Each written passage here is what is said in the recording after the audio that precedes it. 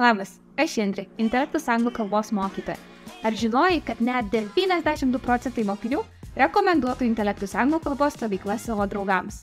O tai yra todėl, kad kurdami savo vasaros stovyklų programą, mes didžiausią dėmesį atkreipiame ne tik į tai, kad vaikams būtų smagu, bet kad ir jie prasmingai leistų laiką tobulindami anglų kalbos žinias bei pritaikytų jas praktiškai.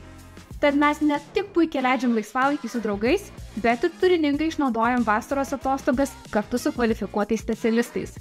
Tad ko laukia?